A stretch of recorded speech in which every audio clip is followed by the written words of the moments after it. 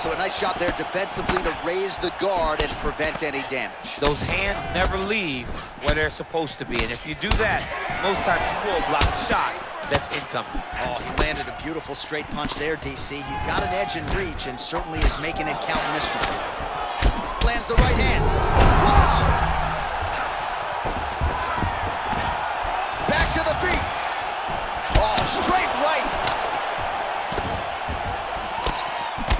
Punches blocked. Oh, big left.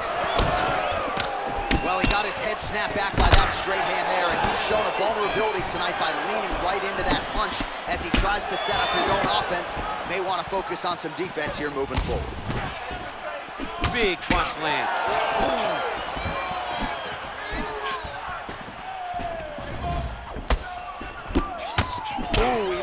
A huge hook there. Oh, straight right. Oh, big left hook there. Oh, that straight punch is going to be a real problem if they can't make the adjustment. A real problem. He needs to move his head defensively if he's going to avoid getting hit so many times in the face. What a punch. Well, he continues to do a nice job here defensively, protecting his head, raising the guard, and really frustrating the offensive fighter a little bit. Left. Connects with a right.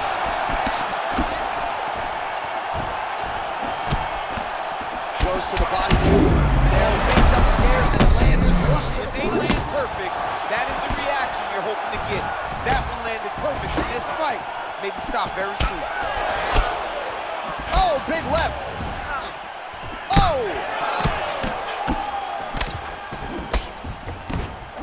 Powerful punch lands. Now he gets back to the cage.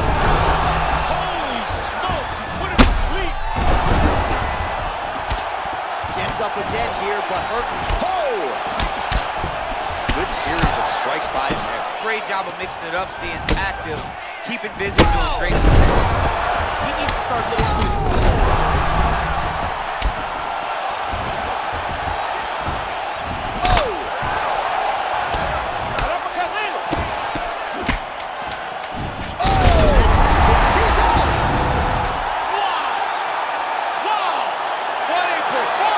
Well, and that's the type of aggressiveness and execution that is going to endear you to UFC President Dana White, to the matchmakers.